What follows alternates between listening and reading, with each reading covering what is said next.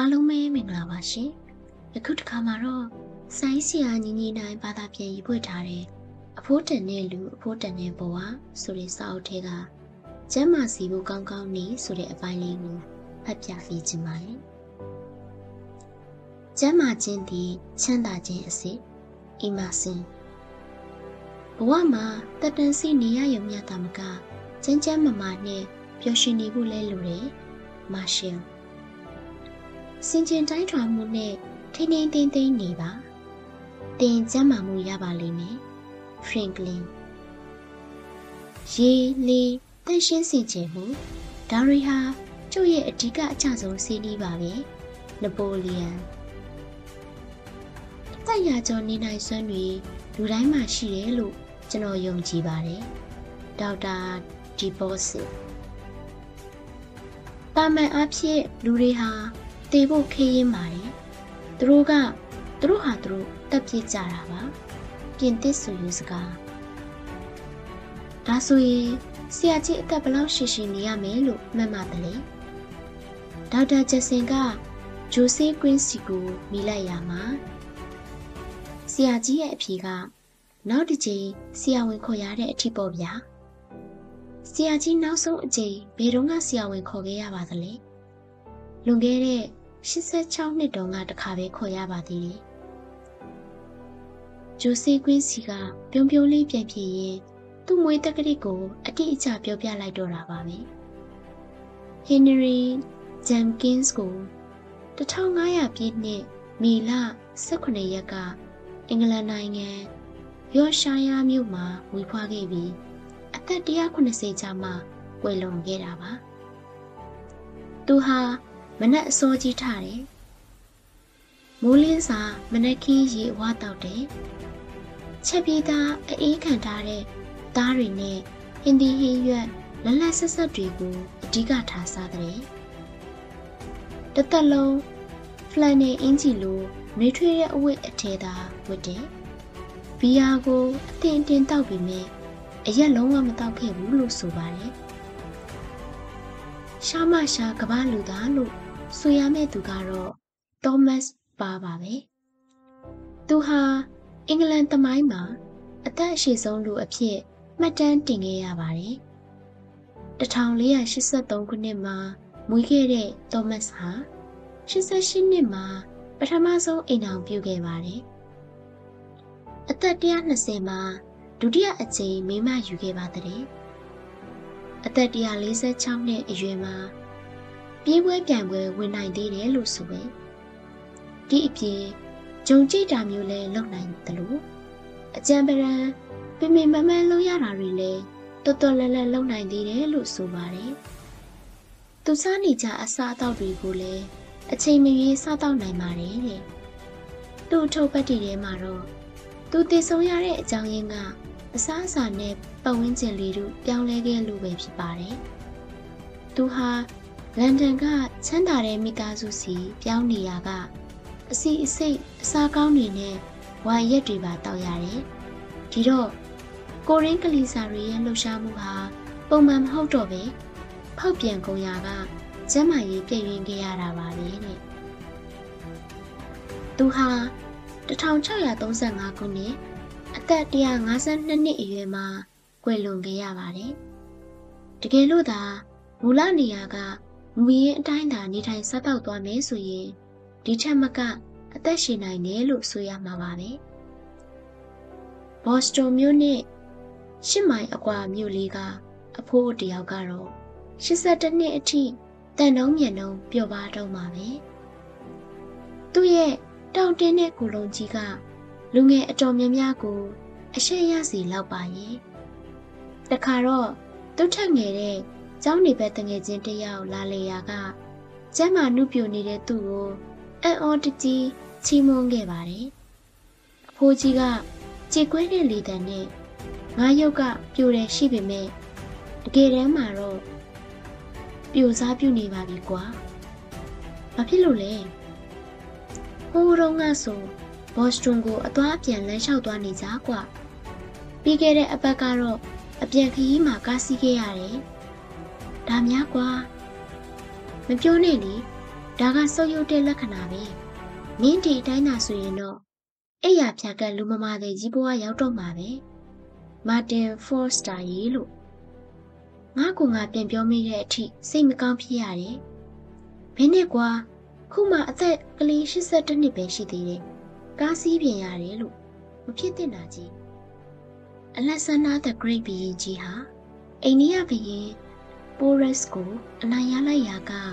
စစ်ပွဲအတွင်းရဲဝံ့စွာတိုက်ခိုက်ခဲ့တဲ့မြင်းစည်းစင်ကိုသိမ့်ပိုက်ခဲ့ပါတယ်။စီရဲ့ကိုပေါ်မှာ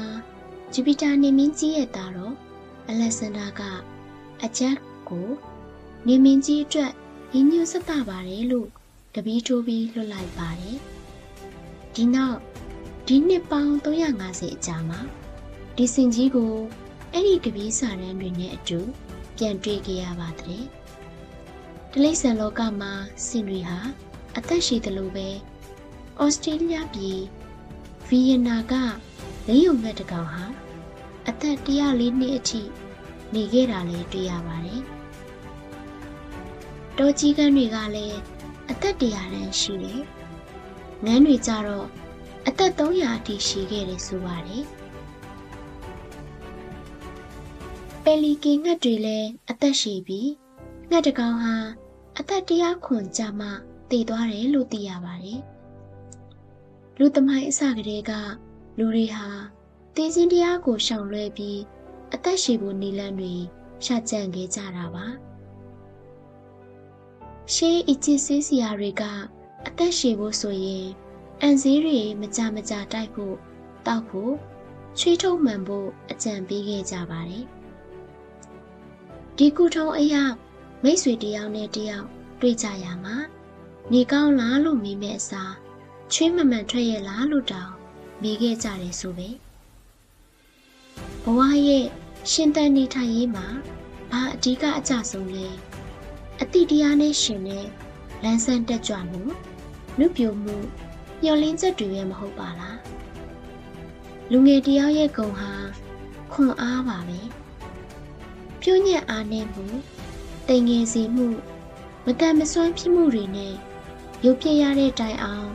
စိတ်ဓာတ်ခွန်အားတွေပြည့်နေဖို့ပဲလိုပါတယ်။ဒါဟာအခက်အခဲဒုက္ခမှန်သမျှကိုကျော်လွှားနိုင်တဲ့စွမ်းရည်ဆိုလေမမားပါဘူး။ဘဝရဲ့အကြီးမားဆုံးတန်ဖိုးအဖြစ်ကြန့်ခိုင်ထွားကြိုင်းပြီး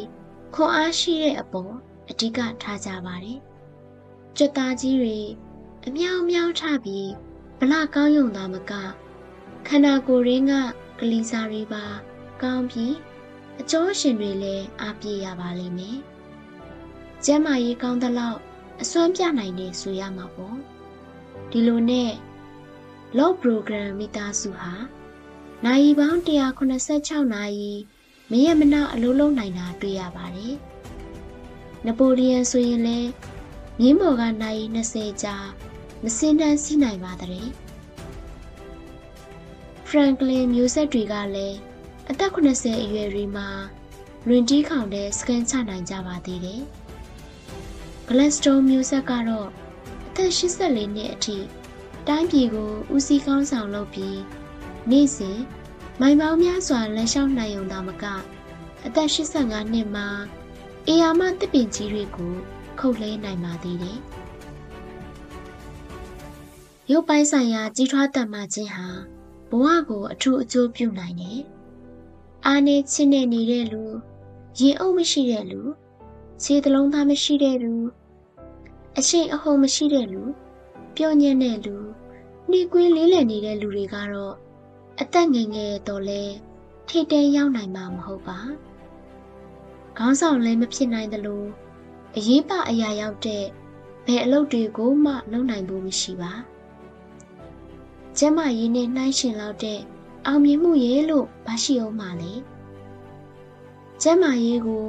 ရွှေတွေစိန်တွေတန်ပေါင်းများစွာသောငွေတွေနဲ့တံမိုးဖြတ်လို့ကိုရမယ်လေလားစာရေးဆရာကြီးကလိုင်းလေးကအီဂျင်ဘာရာတက္ကသိုလ်ကျောင်းသားတွေကိုမေးခဲ့တာပါ စင်စစ်တော့ကိုရိုင်းကျမ်းမာရေးချိုးတဲ့ပြီးစိတ်သွားတိုင်းကိုမပါနိုင်တဲ့ဆရာကြီးရဲ့ရင်ထဲကမချစ်တင်ကဲပောက်ကွဲထွက်လောက်တဲ့မိကုံးတွေပါပဲပြိုင်မြင်းကိုလှည့်ဆွေးမြင်းကျွေးတဲ့အစာမျိုးကျွေးလို့မရပါနှလုံးရည်သမားညာနာအလုတ်သမားတွေဟာအာယုံကြောတွေကိုတန်ဆွမ်းစေတဲ့မိဆုံးတက်ပါတဲ့အစာတွေနဲ့အေဖြူမင်း ဥအကာရည်တွေကိုတောက်သုံးတင်ပါတယ်။ဒါမှလည်းဥနောက်စွမ်းအားတွေတန်ဆွမ်းထက်မြက်ပါလိမ့်မယ်။ညာနာအလုတ်သမားတယောက်အနေဖြင့်အမဲသာဝတ်သားတွေသာစားနေမယ်ဆိုရင်အလုတ်ကျန်းသမားကာယလုတ်အားရဲ့ခွန်အားမျိုးသာရမှာဖြစ်ပြီးအုံနှောက်ညင်ရင်နဲ့အာယုံကြောတွေတန်ဆွမ်းမှုကိုရတဲ့တလောက်ရမှာမဟုတ်ပါဘူးညာနာသမားတွေဟာ ငါချက်သားစံပြောင်းဂျုံဟင်းသီးဟင်းရွက်တတိဝလံတွေကိုအများကြီးဦးစားပေးစားရမှာပါပဲကျောင်းဆရာမတယောက်ဆိုရင်လေတဏီကုံအိမ်အလုပ်တွေလုပ်ရတယ်အိမ်ပေါ်မလေးလိုစားလို့မဖြစ်ပါကျောင်းသားတွေဟာလည်းညံကောင်းစေတဲ့အစာအာဟာရတွေစားရမယ့်အပြင်ကိုခန္ဓာဖွံ့ဖြိုးစေတဲ့အစာတွေလည်းမှီဝဲဖို့လိုပါတယ်။ ပြေးလွှားကစားနေကြတဲ့ကလေးတွေအတွက်လည်းအယူအကျော်ကြွက်သားတွေတန်မာစီမဲ့အာဟာရတွေဗီတာမင်ဓာတ်တွေအပြည့်အဝရဖို့အရေးကြီးပါတယ်။အစာလဲစီဆေးလဲအစာဆိုတဲ့စကားပုံနဲ့တန်ဆေးလွန်ပေးဆိုတဲ့စုံမစကားတွေဟာကျမ်းမာအောင်နေထိုင်ရေးလမ်းညွှန်ဆောင်ဖို့တွေပါပဲအနောက်ပိုင်းသားတယောက်ဟာ ညစာအိတ်ခံပွဲတစ်ခုမှာကမာကောင်အမဲသားနဲ့ကျက်စင်သားကျက်သားပစွန်တုတ်ကြီးဇီးတီးပူတင် ice cream မြေပဲကိတ်မုံအသားစင်းကောမုံစပစ်တီးကြောက်စသဖြင့်အဝအပြေဘိုက်ကားအောင်စားခဲ့ပြီးနောက်တစ်နေ့အိပ်ရာထဲမှာအသက်ထွက်နေပါလိမ့်မယ်။စစ်စစ်ချက်အရာတော့နှလုံးသွေးကြောပိတ်ပြီးတည်ရတာပါတဲ့။ စားစရာနဲ့တောက်စရာကိုတွဲဖက်မသုံးဆောင်သင့်ပါ။အကြောင်းကတော့ဝါစားမကစီရထွက်ပြီး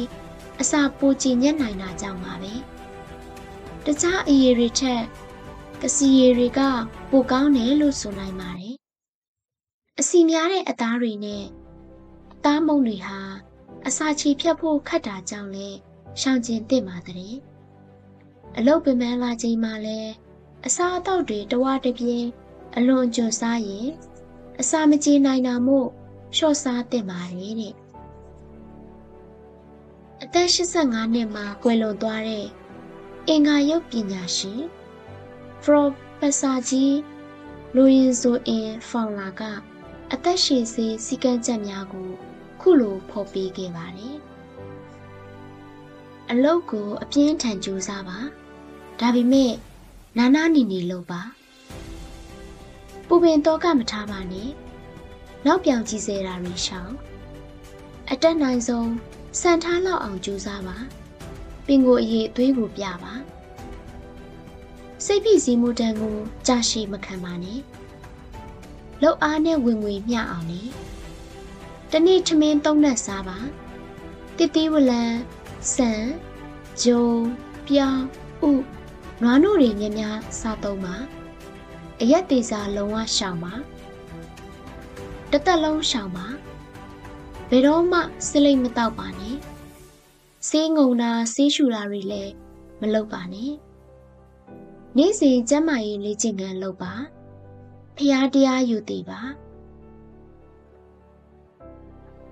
ကော်ဖီလက်ဖက်ရည်ကြကြမတော့ပါနဲ့နိနိချက်ချက်အိပ်ပါ အိတ်တင်မအိတ်အပြင်းထူပြီးမအိတ်နဲ့အပတ်စဉ်တရက်တော့အလုံနာပါဒီစည်းကမ်းများကိုလိုက်နာကျင့်ကြံပါကအသက်80ကျော်90နေရပါလိမ့်မယ်အီတလီပကြီးပပုဆရာကြီးမိုက်ကယ်အင်ဂျယ်လိုရဲ့ခန္ဓာကြီးကျယ်လာတဲ့ပကြီးကားကြီးတွေဟာငရဲပုံလားနတ်ပုံလားဘယ်နေရာဆိုတာဖွင့်ဟမပြောခဲ့ပေမဲ့ခုရုပ်တွေကတော့ ခွန်အားတွေအပြည့်ရှိနေတာပါပဲဒါဟာယောမသားတွေရဲ့ရုပ်ပိုင်းဆိုင်ရာစွမ်းအားထက်မြက်မှုကိုမျက်နှိုးကြောင်းဟဖော်ကျူးနေတာပဲဖြစ်ပါတယ်အိမ်တစ်လုံးဟာဘလောက်ပဲလှပခိုင်ခန့်ပေမဲ့လေတွေမိုးတွေတဘာဝအနေရတွေကြားမှာနှစ်ရှည်လများပြစ်ထားရင်တော့ဆွေးမြေ့ပြီးအလှပြက်သွားမှာအေကံပါပဲနောက်ဆုံးပျက်စီးခြင်းပေါင်းစုံနဲ့ ဘုံဘုံလဲပြိုကျသွားမှာမလွဲပါဘူးဒါကြောင့်ထိုအင်္ဂလိပ်မယူမယွင်းမပြက်စီးအောင်ပြုပြင်မမှန်ဖို့လိုအပ်ပါတယ်ထို့အတူခန္ဓာကိုယ်ကျန်းမာရေးကိုလည်းအမြဲအစဉ်ဂရုအစိုက်စောင့်ရှောက်ရမည်လို့တဘာဝဟာ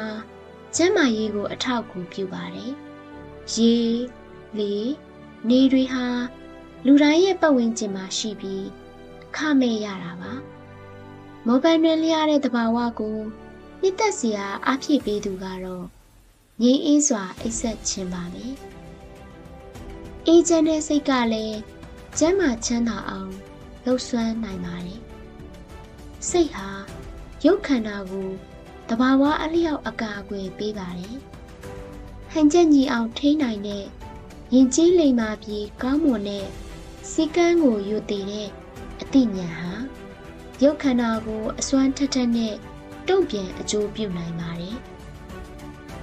တစ်ဖက်ကလည်းပြိုညံချိနဲ့တွေ့ဝေတစ်ဖက်သက်အစွန်းရောက်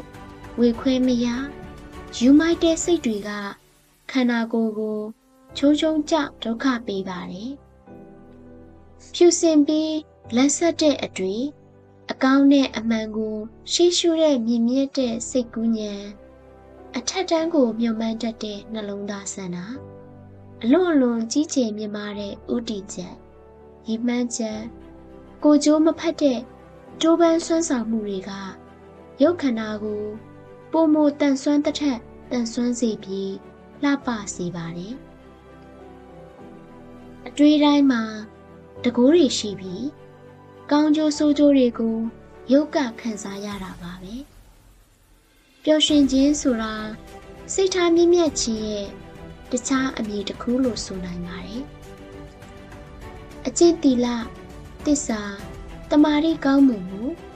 ဖြူစင်တတ်ရှင်းခြင်းရှိတဲ့စိတ်တွေကအသက်ရှိစေပါတယ်ရရောတဲ့နှလုံးသားသိက္ခာရှိရှိနေထိုင်မှုအတ္တမဖက်လူသားအများအကျိုးကိုမျှော်ပိုးတဲ့မေတ္တာတရားတွေကတက်တန်းကိုဆွဲဆန့်ပေးပါတယ် စိတ်ဓာတ်အကျင့်တီလရုပ်လက္ခဏာဆိုတာဟာဘဝတစ်ခုကိုတည်ထားတဲ့အသက်သွေးကြောသုံးချောင်းပဲဖြစ်ပါတယ်။တစ်ခုနဲ့တစ်ခုအမိတဟဲပြုတ်နေကြတာပါ။တစ်ခုကောင်းရင်အလုံးကောင်းတယ်လို့တစ်ခုပြက်ပြားရင်လည်းတနွေငင်တစင်ပါပျက်စီးကုန်ရတာဓမ္မတာပါပဲ။တေချိန်မရောက်တတ်မပြောင်းလို့ဆိုရိုးစကားရှိတယ်လို့ တေချိန်ရောက်ကကင်မရဆိုတဲ့စကားပုံလေးသုံးလေးရှိစပြေးပါ။ဘာပဲပြောပြောလူဆိုတာကိုကျမကိုဖန်တီးကြရတာပါပဲ။အကောင်အဆိုးအမှားအမှန်အသေးအရှင်းအပါအဝင်နေခြင်းနဲ့နေခြင်းသို့မဟုတ်အသက်ရှည်ခြင်းနဲ့တိုခြင်းတွေဟာကာယကံရှင်ဖြစ်သူရဲ့လက်ထဲမှာသာရှိပါတယ်။ လူဘဝဟာရခဲ့တယ်ဆိုရင်ဖြင့်လူဘဝကိုတန်ဖိုးထားမှသာအဖိုးတန်တဲ့လူဖြစ်မှာပါ